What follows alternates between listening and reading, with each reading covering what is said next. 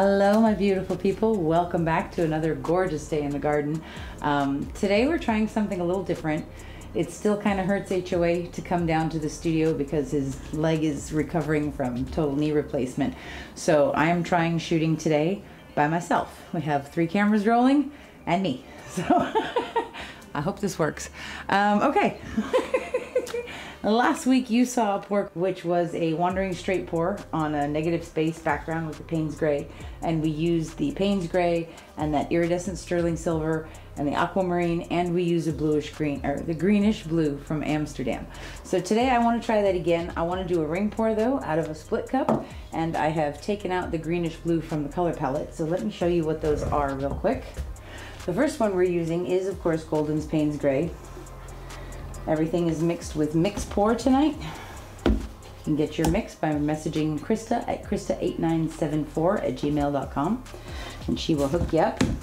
So first, Payne's Gray, nice and thick, leaving a mound on a mound, and then sinking after a second. Okay, the next one we're using is this one that's new for me. This is Golden's Iridescent Stainless Steel Fine. Pretty cool color. Here we go. Nice and thick and creamy, leaving a mound on a mound before it sinks into itself. Okay, and then we are using Folk Art Treasure Gold Series in Aquamarine. This is aquamarine? Yes, Aquamarine. That's this one. Beautiful, nice and thick, leaving a mound on a mound. This one actually might be a little thick, which is weird. and then last but not least, I am using Golden's Iridescent Pearl with a tiny bit of DecoArt Americana Decor satin enamels in it. Okay, so I'm excited. Let's get started. Uh, this is a repurposed canvas. I have painted it Payne's Gray, so that's ready to go. Uh, okay, we're using the 16 ounce split cup. And it's got one, two, three, four, five, six chambers in it. So the first thing that I want to do is I want to put Payne's Gray on both ends. Can you guys see? Yeah. So we're just going to go straight Payne's Gray on one side and then straight Payne's Gray on the other side as well. And then I'm going to put some in one of the middle chambers as well. The question is which one? Well, let's do this first. Let's come in. I want to use the aquamarine next to the Payne's Gray for sure. So let's do that. And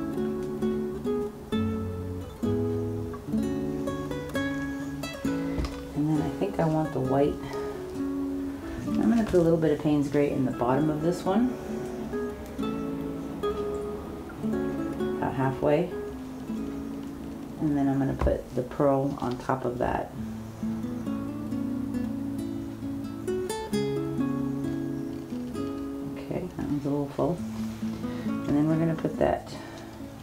Stainless steel on the other side of the white.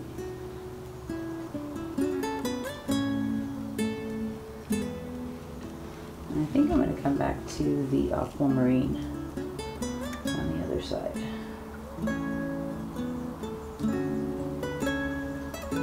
Okay. That's a pretty looking cup A little messy on top, but that's okay. It'll be alright. So I also have here Payne's Gray. Now everything, the colors are all mixed with mix, but this base coat flow extender I have mixed up with Liquitex Gloss Medium, a little bit of GAC 800, and water and Floetrol with the Payne's Gray. So, let's see. We're gonna pour a puddle of this in the center, and we're gonna do a ring pour and then we'll use that as our flow extender afterwards. All right, make sure we're centered. There we go. Oh my gosh, I miss saying it. Are you ready, husband of awesomeness? But he is ready. Everything is ready and rolling and prepared, so he's always ready even when he's not right here. Okay, here we go. We're gonna do a ring pour.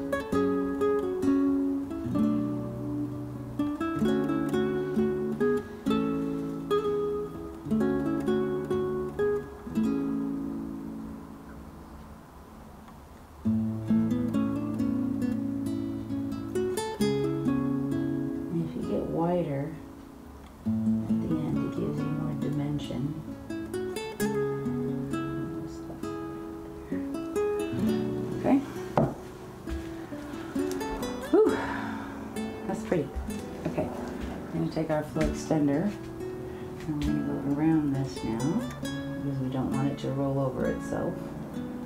We want it to slide nice and easy.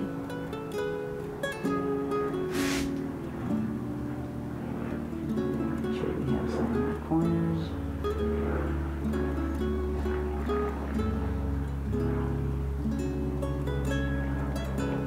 Okay.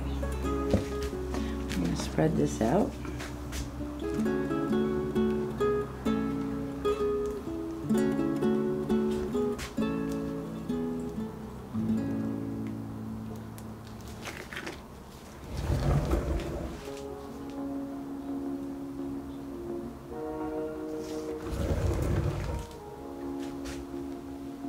Flow extender is a thinner consistency than the paint that I put on the canvas.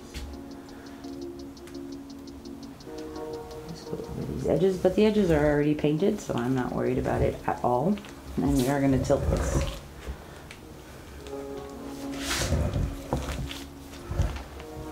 Okay. Let's wipe that off. So funny, I'm nervous without HOA here. He's doing really good though. I'm really proud of him. He's been pushing himself with the physical therapy, which I know has been hellacious. But he's a trooper. Let's torch this.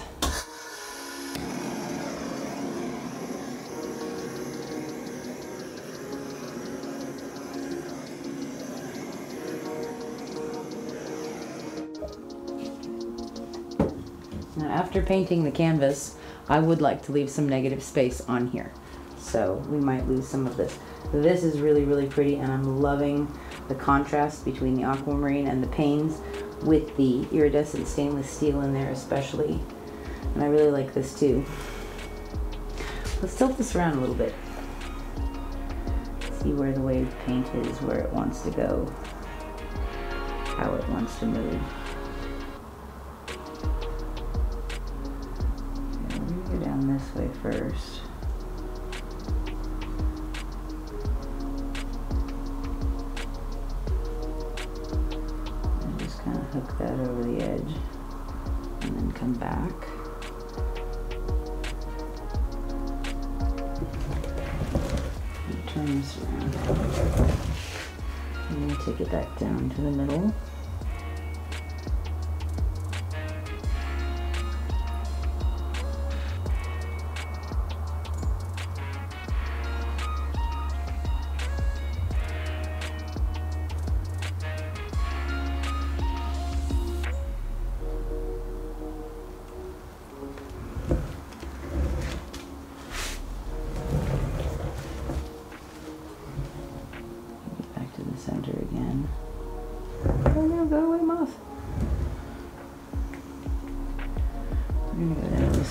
Just a little bit to stretch this out.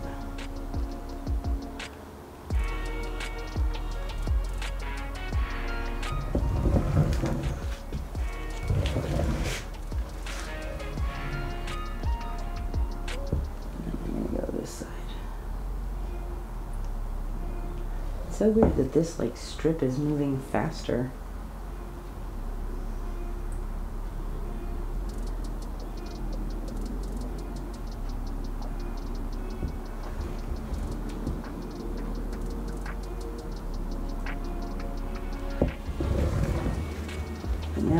Anchored this over here on this edge.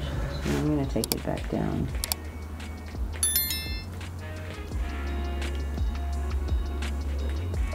That's so weird. And it's moving that way.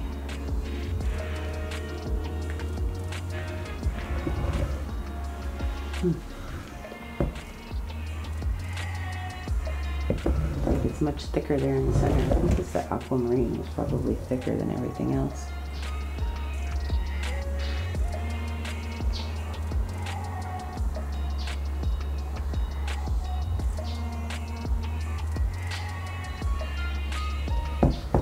open all this up like that. I might lose some of that there at the bottom. I'm okay with that.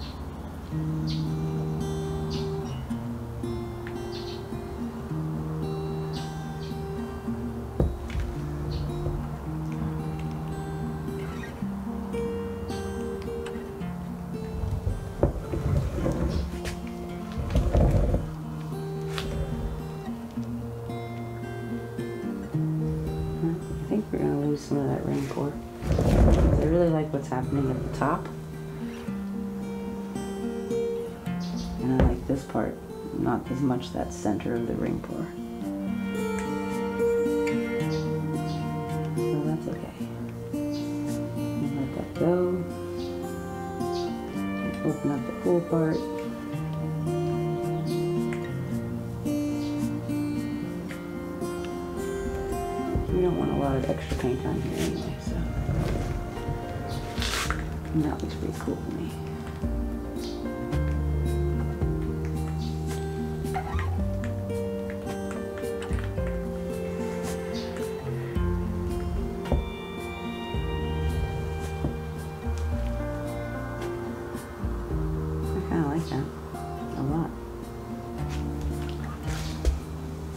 I do like it, and then there's parts that I don't like.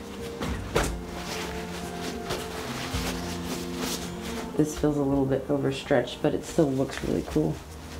I do like the Payne's Gray with the iridescent graphite. Hmm.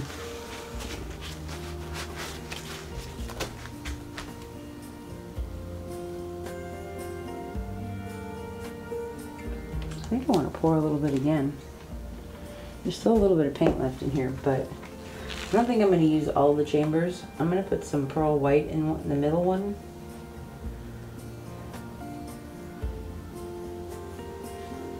About halfway. And then I'm going to put that iridescent blue or stainless steel about halfway. And I'm going to put some of the Payne's Gray on the side. Side. I think I'm going to skip the aquamarine this time. And I think we're going to do a straight pour. Okay, here we go.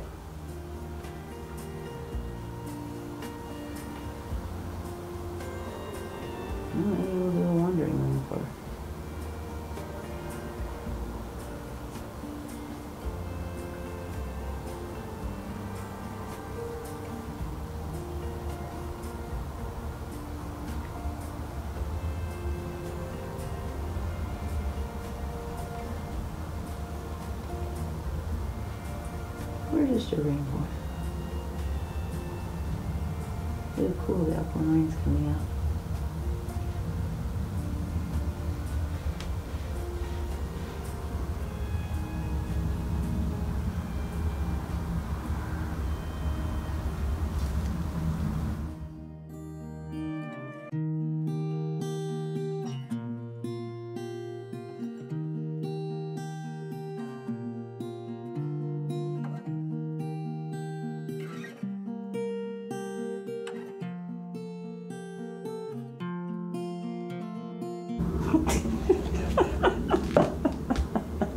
Didn't want to stop.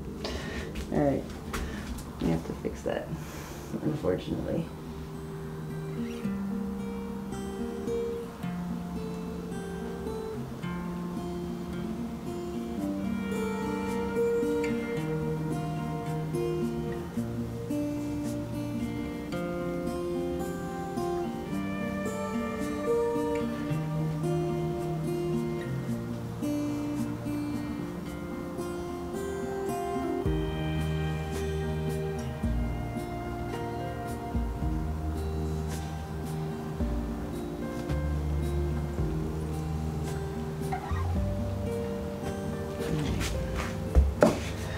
Okay, the squiggle I can deal with. Squiggle fix no problem. All right, let's torch that. That's actually really pretty though.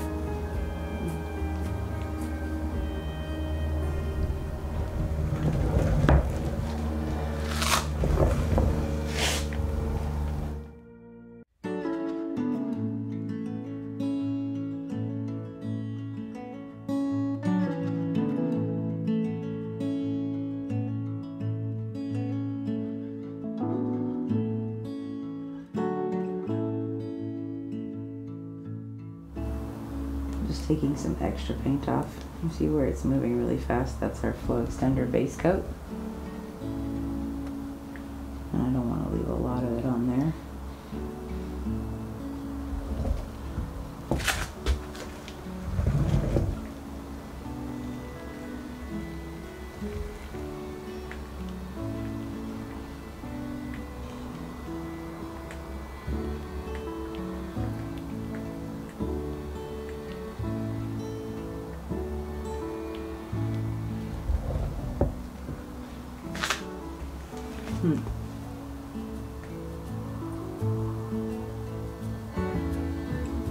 This. I keep feeling like I need to take this off and let that open up, but I like this part.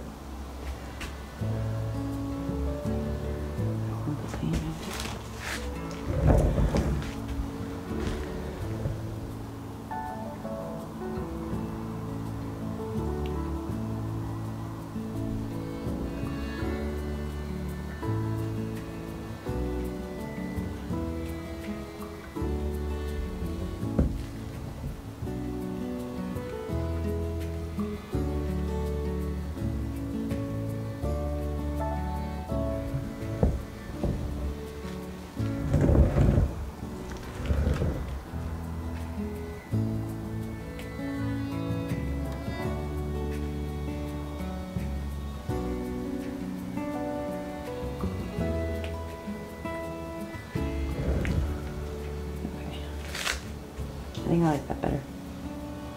It's really pretty. That iridescent uh, stainless steel is beautiful. Very sparkly, kind of. I love the depth against that Payne's gray, and I really like the aquamarine in there. And I'm loving what the iridescent pearl is doing. So I could go back and forth and pour this like 16 times. So just because that's really fun for me to to actually pour it and see what happens. But I do like what's happening here. I love all this gradation of that smoky blue gray with the iridescent stainless steel and the Payne's mixed together is really really pretty. A lot of beautiful lines. I love this edge right there with the Payne's with that pearl coming through. Yeah so i'm gonna leave this one how it is. We'll see how it dries and i will show you guys when it's dry.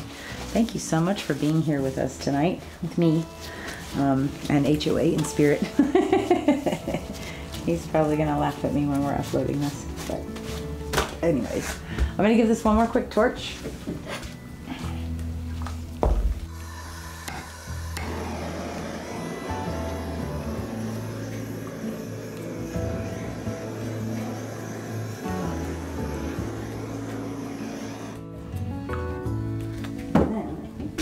over to HOA's camera, see if we can't get a nice close-up for you guys.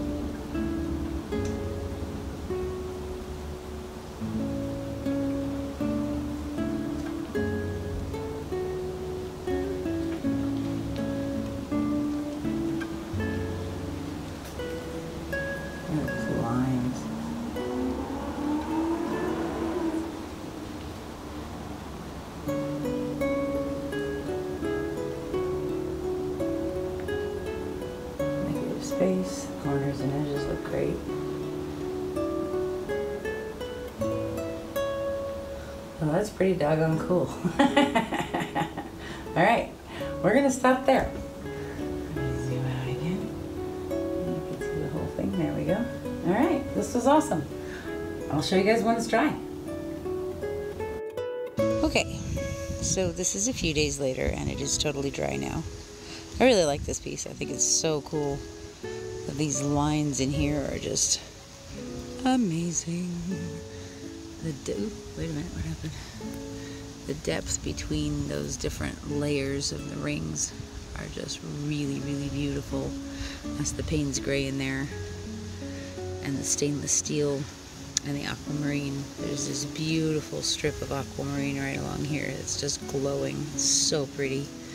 And these lines, I'm just like, oh, just beautiful. Very cool. This is remnants of the first pour, which I actually think look really cool stretched out. This part is really beautiful right there.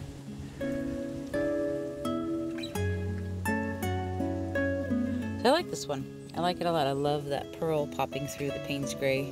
It's really, really beautiful. So an interesting observation. The two corners of negative space actually look not as shiny. And that's because I had a lot more Floetrol in the base coat, flow extender color. Really, really pretty. Beautiful stuff.